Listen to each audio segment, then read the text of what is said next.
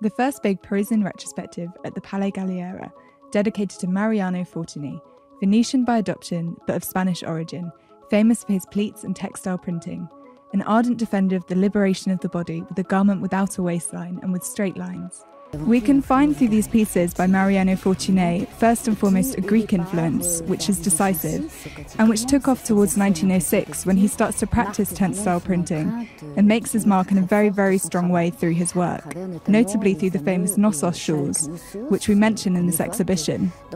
Then there are obviously all the inspirations which come from the East, which come from North Africa, equally Coptic inspirations, obviously Renaissance.